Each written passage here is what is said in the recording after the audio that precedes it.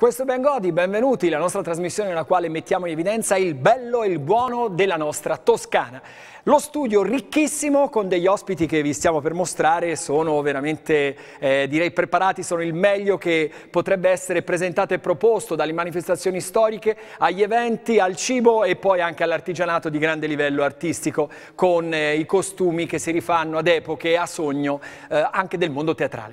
Andiamo però a cominciare subito, avremo anche collegamenti con Roberto Francini, andiamo alle Chianti, Giovanni Montorselli, oh, uno, più, uno più alto di me è difficile da trovare, tu ci sei però eh? Sempre riuscito. Sempre riuscito. Giovanni Montarselli, domenica prossima, il prossimo fine settimana, sì, vediamo no. inquadrato il vino perché c'è un grande evento nel Chianti e sarà a la Gaiole, scusa per... A Gaiola in Chianti c'è l'Eroica. L'Eroica. Partiamo con le immagini, carissimo regista Natale Teci, perché l'Eroica è un evento, guardate Eccoci qui che, a che livello siamo. Che cos'è l'Eroica? L'Eroica è stata un'idea nata per caso di fare un raduno di biciclette di una certa epoca antecedenti al 1987, possibilmente anche con i vestiti dell'epoca e da lì ha preso subito piede, ha avuto un grandissimo successo e ora sono lì a contare perché più di 10.000 persone arrivano a Gaiole per correre questa eroica che sono tre percorsi, uno medio, uno corto e uno lungo e si vestono con anche biciclette degli anni 30, quindi si possono vedere benissimo personaggi. Le strade sterrate del Chianti. Tutto, maggioranza strade sterrate, nel Senese ce n'è molte strade sterrate, per cui si ripete una cosa che esistita fino agli anni 50, poi dopo gli anni 50 sono arrivate le cose eh, più moderne. Ecco, mi hanno fatto vedere dalla regia anche i campi dove, dove si corre l'eroica, perché alla fine l'eroica ha questo successo mondiale perché il Chianti.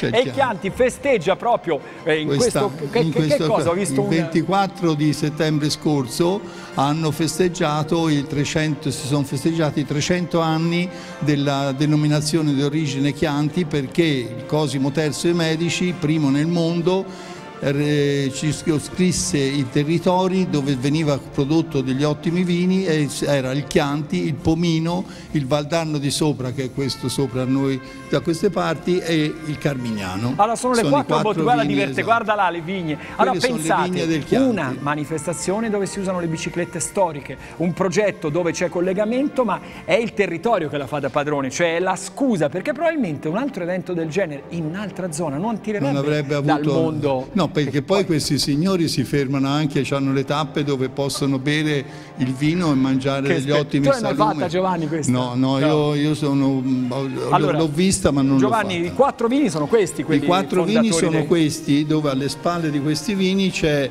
eh, Cosimo III dei Medici che ebbe quest'idea della valorizzazione delle zone di produzione migliori del suo Granducato e a, e a capo di questa congregazione c'è Antonio Antinori che, sta, che era dell'ordine dei Vinattieri che è una famiglia che ormai è, siamo arrivati alla ventisesima generazione con Piero quindi, Antinori. Ecco, ci siamo, siamo di fronte a qualcosa attuali, che è una grande radice. È una grande radice e unica al mondo. Poi torniamo alla prima sì. DOP, la prima direi il sistema di... È la di, prima di, volta che... È, Anche prima dei francesi. Prima dei francesi, cioè, di circa 60 anni prima. Grande. Allora, zero per l'Italia grazie all'Antinori e a Cosimo Terzo. Terzo, chiaro, guarda, 300 anni ragazzi. C'è però, allora io salto sul concetto del, dell'elemento. C'è questa donna che ha al collo, sei coperta dalla... così, tanto ora vi vediamo.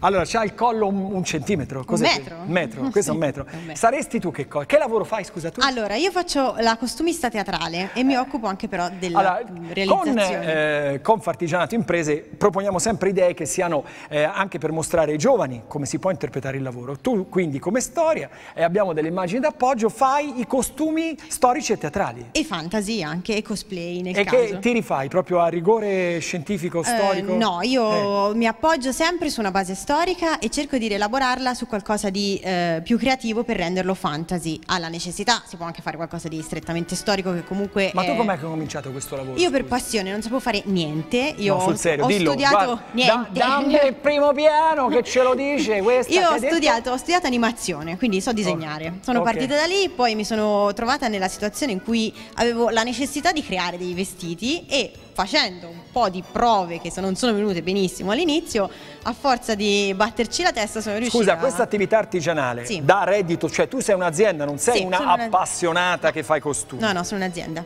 Ecco, e in genere do- chi è che, che richiede abiti così? A parte deduco per manifestazioni storiche, non ho dubbi, no? Sì. Per me. Però c'è il fantasy chi lo compra, scusa? I giocatori di ruolo dal vivo. Oh che sono- madonna, la voglio sapere. Sono- Racconta un po', che c'è gente che... Cioè Sì. tipo Bulletti, il mio Marini, uno dei miei, loro si vestono e fanno il ruolo del capitano, del... Eh sì, perfetti. Allora Volete sono- un costume anche voi, ragazzi? Sì. Da che vi vestiresti nel fantasy? Che vorresti essere? Lui Zorro e lui?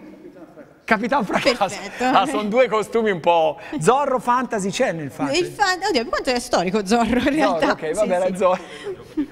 È Però raccontami, eh, quindi c'è però l'elemento del ricamo, io vedevo anche Sì. qua gli abiti e le foto stesse che stiamo dando, Io ho dei collaboratori lavoro vero. insomma. esterni che mi fanno i ricami e mi lavorano il cuoio, quindi collaboriamo su questa cosa qui.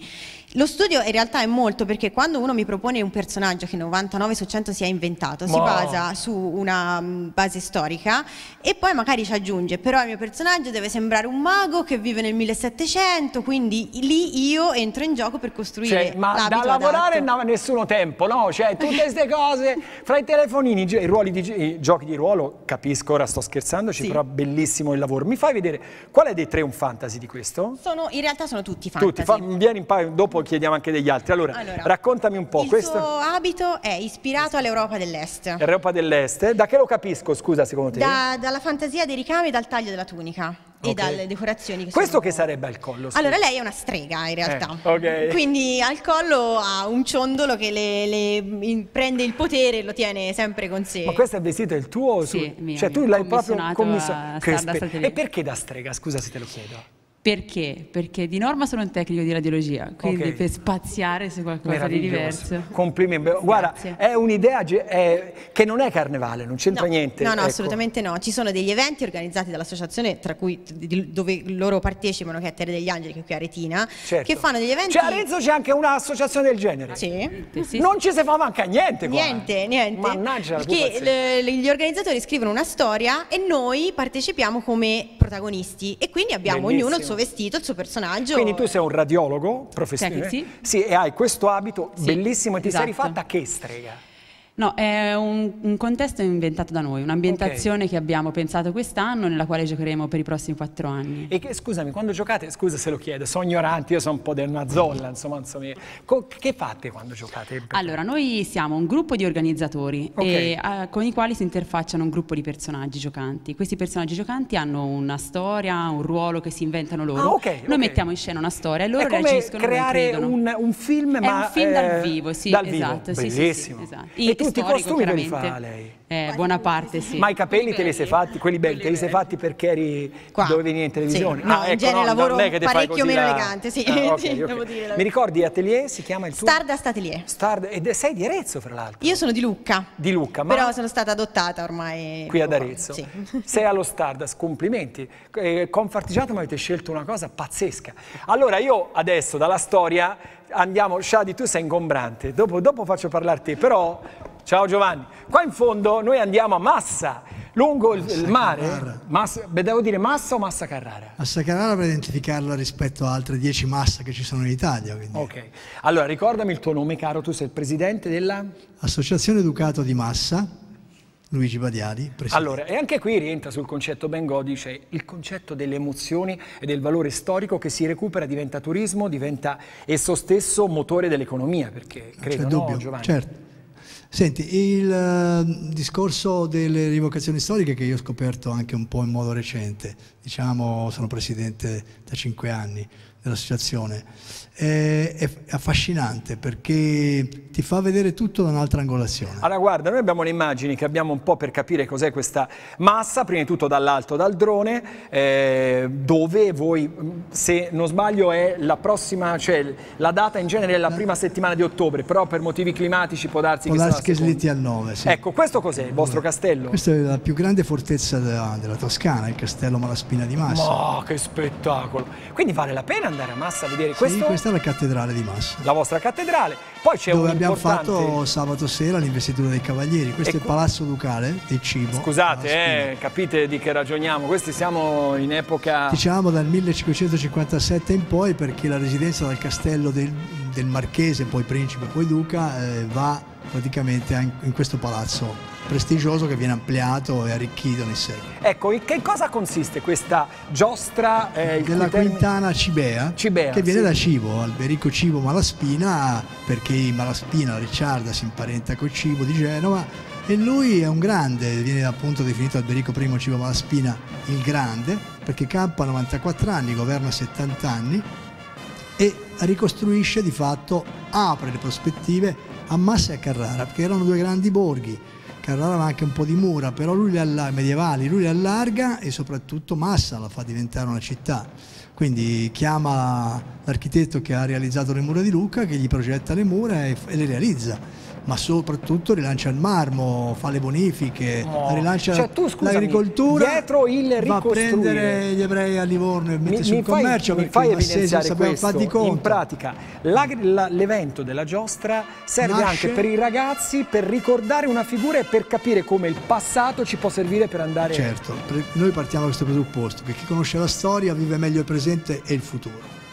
Quindi questo mi pare... qui vedevo le ceramiche importanti Sono che ceramiche portate. fatte con un premio che viene fatto durante la quintana e quindi poi le ceramiche rimangono al museo nostro. Bellissimo. Raccontami una cosa, voi è la prima se- fine settimana di ottobre, in genere però a Abitualme- seconda del tempo... abitualmente noi la facevamo la prima il primo sabato di agosto, poi per vari motivi abbiamo spostato adesso in, in ottobre, quindi la facciamo diciamo la prima domenica oppure Che poi arrivano da 4. diverse parti della Toscana a vedere la vostra, perché in costume, non rigore dubbio. storico sugli rigore abiti. storico sugli abiti, poi anche il modo con cui si fa la quintana è rimasta l'unica, con la gualdrappa, il mantello. E infatti tante ci sono, guarda, vedi, quelli che vedete sono i vari loro, come li chiamate, giostratori? Cavalieri, Cavalieri. cavalieri giostranti. sì. Cavalieri giostranti hanno gualdrappe, mantello e, in un E- paio di e- foto dopo li vedremo. E c'è anche l'elmo. E c'è anche l'elmo. Con visuale ridotto. Quindi sostanzialmente non è pericolosa questa Eccola giostra. là, guarda, guarda che spettacolo. Eh, eh, la giostra arrivare. praticamente viene corsa in una pista, un cavaliere alla volta e combattono contro il tempo e contro gli anelli.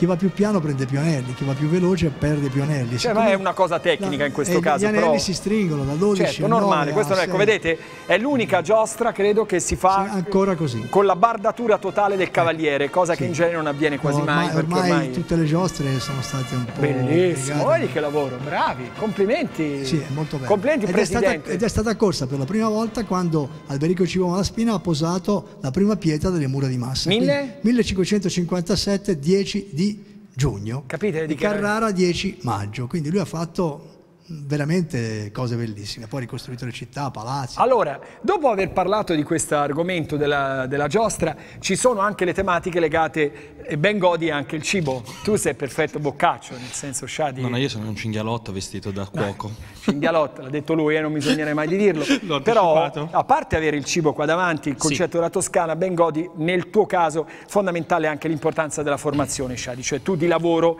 a parte fare lo chef eh, per il tuo lab, sei anche in giro per l'Italia a fare formazione. Raccontami in questo momento il cibo, così intanto ci vediamo un po' di piatti. La formazione come sta? È vero che c'è richiesta in questo settore per nuovi lavori? Sia Cioè, a livello tecnico sia a livello pa- passionale, diciamo, quindi sia gli appassionati di cucina. Quindi è ricercato sia una parte più ludica sia una parte più tecnica.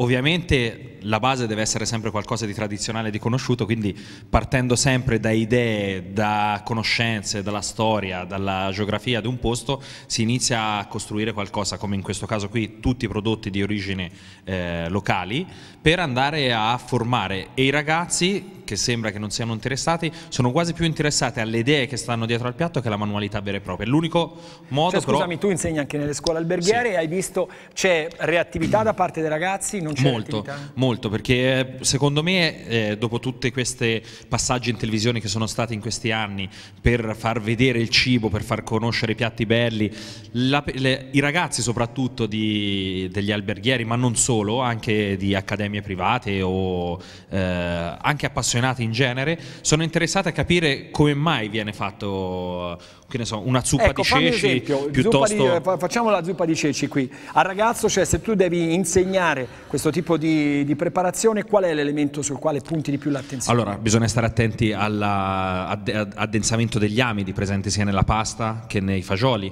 quindi bisogna stare attenti all'equilibrio di quanto liquido in base alle cotture, perché non tutti sanno che a una certa temperatura gli amidi gelificano, quindi si addensa. Saperlo ovviamente ti permette di fare un piatto come questo, banalissimo perché banale, non Quindi diciamo anche banale, la tecnica è centrale. ci vuole sicuramente anche per fare una pasta e fagioli Scusa, ma questa. invece se devo qua davanti fare Questo qui... è un crostino nero e ovviamente come si sa viene fatto Li normalmente... No ragazzi, crostini neri, voi due, uè, boss, siete reattivi i miei due tecnici, sì. Crostino nero, eh, guarda che robetta. Crostino nero cosa c'è l'attenzione? Normalmente viene fatto con prodotti eh, legati ai fegatini di pollo, eccetera, eccetera. In questo caso è un grigio del casentino, quindi conoscenza della materia prima e lavorazione, perché ovviamente il fegato del maiale è più dolce, quindi va Quanto equilibrato. conta secondo te fra il sapere e il fare? Qual è? Ci deve essere un equilibrio fra le due cose? Mm, cioè, avere parli, con sapere- uno, eh, parli con uno che sicuramente il sapere è al 90% e il 10% è il fare, perché ovviamente sapendo si può fare.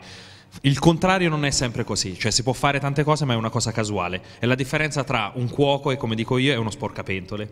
Ecco, e quindi l'imparare l- l'elemento anche del passare certe connotazioni anche di carattere culturale legate al cibo, a parte l'elemento stesso storico, ma c'è anche come il calore influenza Come no, cibo. come no. che- Quindi la parte gustativa, quindi assaggiare un prodotto, che ne so, partire da un cecio, sentire com'è quando è fresco, quando viene rigenerato, quando viene cotto, per sentire i sapori che vengono in bocca è Quanti importante. sono oggi secondo te coloro che vanno al ristorante, mangiano e hanno consapevolezza? Stanno aumentando fortunatamente, Bene, bene. perché ovviamente se imposti un locale in una certa maniera, quindi non è il locale da buffata, perché esistono anche quelli e funzionano forse anche meglio di tanti altri, ma nei ristoranti normalmente scelti per andare a mangiare bene, la consapevolezza c'è di quello che ci si mette in bocca ed è importante. Allora, aspetta che ora eh, dopo torniamo, Eh, volevo dire a mm, eh, Giovanni, fra l'altro sto vedendo, giusto per curiosità, dopo ne parleremo anche del, del collegamento perché saremo con il Parco delle Foreste Casentinesi. Giovanni, i piatti, il Chianti, eh, ricordiamolo, 300 anni! Sono 300 anni dal 24 settembre 1716, 24 settembre 2016. sono Vedi, questi tre sono tre personaggi che ora vi diciamo solo i Questi, nomi. sì. Partiamo da questo, una parola. Antonio Antinori, Antinori- che è stato il capo della congregazione che ha Nel disegnato 1712. Accanto un altro uomo che 1716. influenzò molto? Bettino Ricasoli 1900 1872 quando scrisse la ricetta del Chianti con le uve bianche e senza uve bianche. E poi il terzo poi personaggio? Il terzo è Giacomo Takis che purtroppo è deceduto quest'anno e che è, è stato l'innovatore di tutti i vini di oggi, dal Sassicaia a Tignanello e via dicendo, che sono tutti i vini più moderni di oggi che- dove lui ha applicato di fare il vino nella vigna e non più in cantina. Una curiosità, scusami, perché secondo te il Chianti mi dai tre valori che piacciono alla gente e dopo chiuderemo questa striscia? Ma il Chianti, tre prima, cose. Tre cose prima del Chianti, prima cosa è cultura. Cultura. E con la cultura ci si può avvicinare benissimo al vino. Vai, poi. capirlo perché è un vino molto difficile, e però i piatti che eh, il cuoco qui accanto ha sono tutti piatti da Chianti classico, uno fi- fila l'altro, e quindi la terza è il piacere di bere, tant'è che oggi di vino se ne consuma poco più di 30 litri l'anno a pro capite, quando al tempo del Cosimo III e Medici si era sui 200 kg. Prima era alimento, oggi è Prima era alimento, oggi, Ok. oggi è un piacere di bere, non Grande è Giovanni. l'alimento. Tre personaggi, breve pausa, poi torniamo con Ben Godi.